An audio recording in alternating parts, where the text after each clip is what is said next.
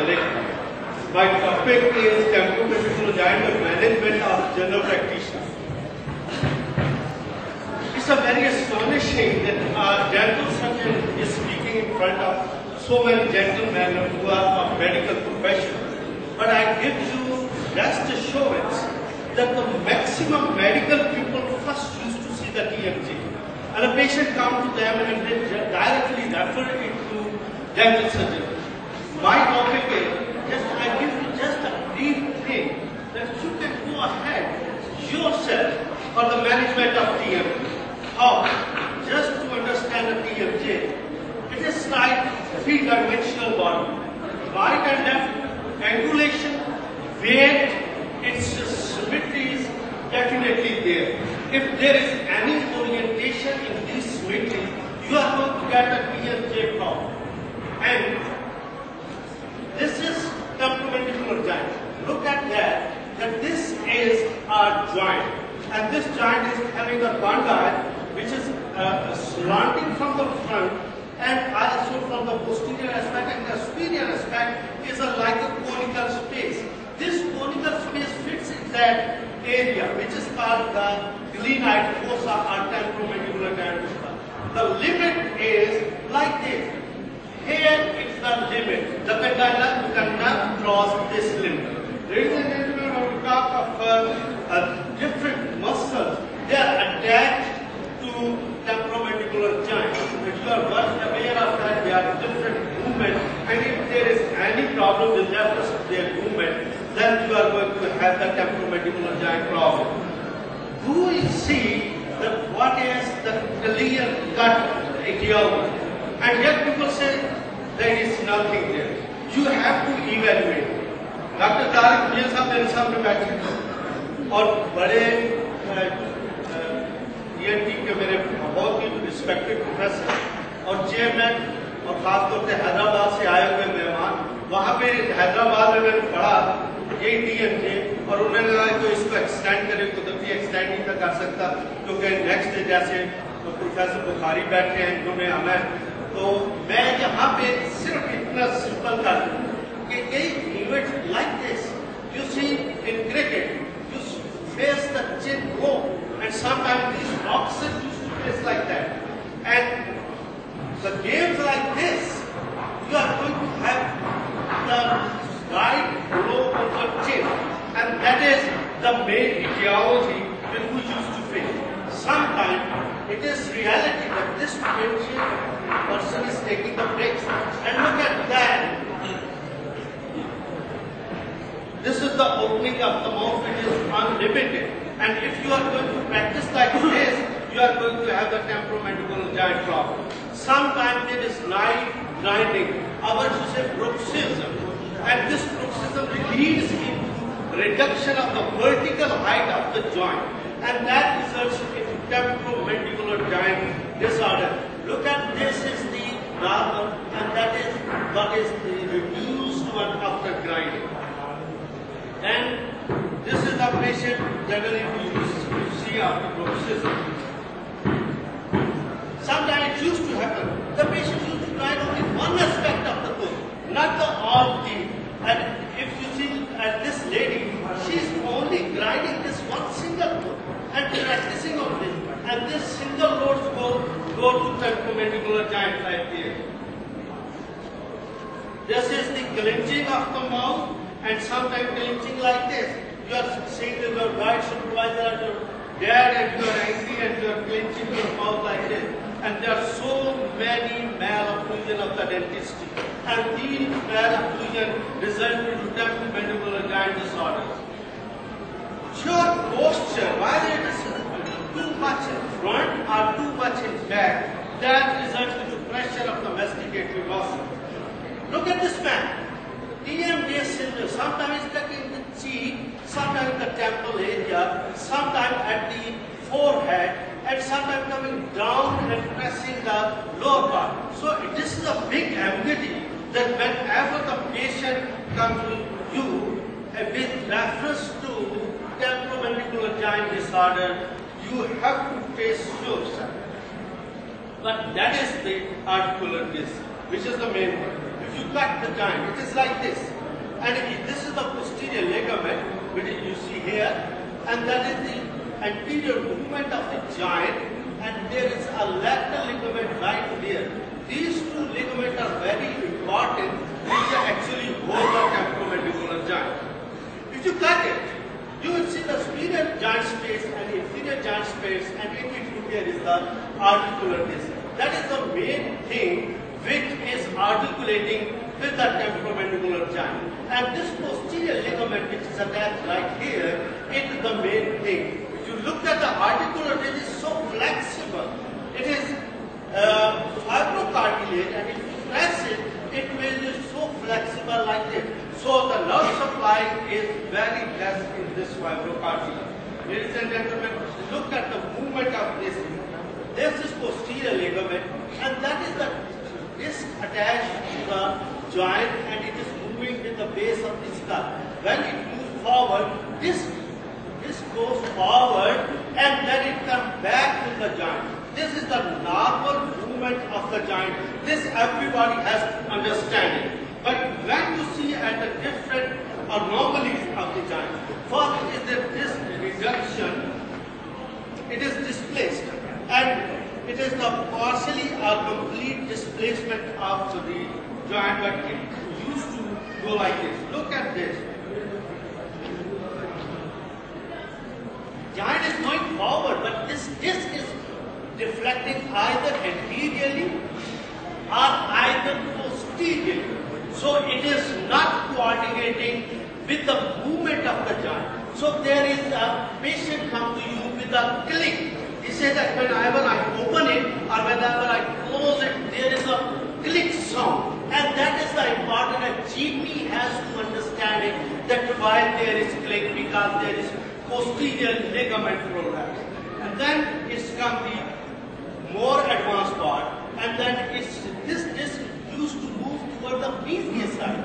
First it was coming forward, just forward and backward, but now you see that as soon as it moves forward and it reaches at the maximum level, it used to slip away toward the medial side. And the condyle directly touches the base of the skull. So here there is no disc in between them. And at this level, the patient say, I have a severe pain. And you have to understand that there is no click, but the patient is saying that I have severe pain because now it is directly touching to the base of the skull. Next stage is that the whole the disc it is gone medial. You see it is like this and it is gone displaced in the medial side. Absolutely displacement of the disc and there is no any vision of the disc right in the glenoid fossa which it it has to protect the condyle. Now this is second stage that it is without reduction. The disc is there, but this is not coming uh, either anteriorly, either posteriorly, either. It is right stuck in front of them. It is moving, but it is not coming with the condyle. It is right prolapsed here, and that is the real painful stimuli. And patient will come to you. Doctor साहब मैं बोल भी नहीं सकता खोलता जाता हूं तो मेरी जान निकलती है this is that stage that when the disc is absolutely prolapsed anteriorly ladies and gentlemen this is the condition when you see the disc is not about prolapse but there is perforation starts the disc itself is so much aberrated by the condyle or by the base of the skull and you see there is a big perforation here and that perforation actually is so painful to the, to the patient that the, even the movement of the joint is restricted. And next comes the definite perforation and degenerative changes. Now there is no disc at all there. This base of the brain and that is the condyle which has cha- is shaped as well. It is so smoothly running and it is restricted. Now what is going to happen?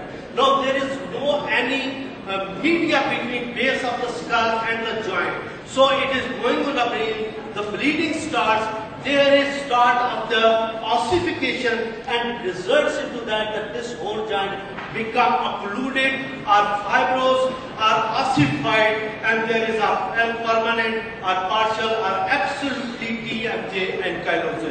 And patient will come to you that, uh, gentleman, I cannot open my, mouth. Ladies and gentlemen, uh, this is, these are the four stages which I have described you. This is the normal, then the disc is prolapsed here, then there is perforation, and there is absolutely gone of the things. Examination is very simple. This is a big chart. This uh, generally dental surgeon has to fill it. You have to check the opening. This is the normal opening, 35 45 mm. Then you have to see this is the big opening and that is approximately, this is also dangerous and if you say the lower limit uh, like this, this is also less. Now, how to examine Just make it at your clinic. You cut it and place it in the mouth of the patient and you will come to know the opening of the patient joint. Then you go for the right and left, see the center point and ask the patient to move right and left and what is the limit of right and left movement, whether they are equal or whether they are disturbed. Ladies and gentlemen, then you have to just check the anterior aspect of the joint. Just place your both finger, both sides of the joint and ask the patient open it. You will feel the click, it is there or not. Then you will go behind uh, the patient and put your small finger into triangle and see how the disc is prolapsed or not. If it, if it if the click or there is no click. And that is the examination which the GP has to perform. Ladies and gentlemen, this is a, another thing that you have to see the deviation. You see this patient is opening and coming back. This is opening and then coming back. This is when the disc is there and it is coming back But at this stage, you see the patient has absolute deflection. The disc is not coming back. This is the examination. You have to see that when the patient is opening in a deflected way or patient is opening in a straight angular way. Next you have to see, ladies and gentlemen, it is like that. Sometimes it is so obvious, it's not like that. And that is, you will see, and generally it is a muscle investigation is simple.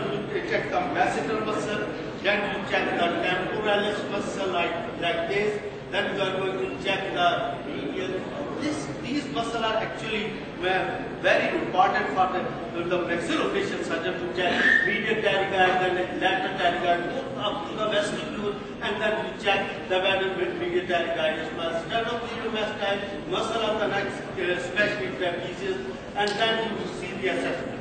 These are the different sounds which you have to check, and these sounds are generally best checked by the stethoscope. Here, these surgeons generally the stethoscope, the fluctuation of the sinus fluid, and who used to check it for, for the TMJ click as. And this is very excellent. Last is the investigation.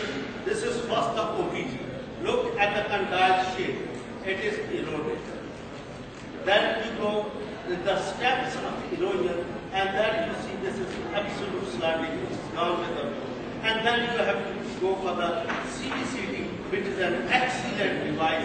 And if you go for the uh, CT scan, it will give you all the three-dimensional uh, misinterpretation of the joint. And this is what a real MRI is required. And if you, it will give you the real position of the disc in forward movement as well as in uh, front movement, and then the disc position or perforation you will come to know. मेरे पीछे एक सालारे खड़े हो गए मैं मिन्नत करूंगा कि मुझे सिर्फ इन्वेस्टिगेशन बता देने दे ट्रीटमेंट का अगर नहीं दी तो इतना this is the endoscopy use to perform and that is about the zygomatic arch we enter right here and see the glenoid fossa the superior space and when you enter it you see the how much it is gone inside and, and according to that you will come to know the what is the criteria of the disc. It is perforated, it is prolapsed, or it is like that. You see, see the endoscopy, it is right there. It is the perforated area which you can see by endoscope. And management is very simple. Just the uh, pain and anxiety, you have to cover it by their different. Uh, this is the emergency. You have to go all these drugs they are, uh, you are familiar. This is what a dental practitioner has to do. To see the joint, place the index finger there. See the local anesthesia. It is better to do with adrenal. Place your needle towards the base of the skull. There is absolutely no hindrance, there is no any vital thing where you are going. Just place your, and 1 or 1.5 cc to inject in the joint. Joint, that is the absolute emergency treatment which our general practitioner has to be sometimes explained. And ladies and gentlemen, I think that uh, that's more than sufficient. Two minutes I have been given. And uh, uh, soft diet is the main thing. You have to prevent the soft diet. There's hot sponging for the acute cases and uh, then later on you convert it to then is the uh, prevent the right opening and then there are different exercises which actually a maxillofacial surgeon will demonstrate to you that how to uh, do these all exercises. And then these are the different exercises which are very delicate and a maxillofacial surgeon generally they are familiar to advise these things. If any person like to ask me after the lecture, he can ask me. There are different intolerances. Physiotherapy, this is just, uh, can, this you can do.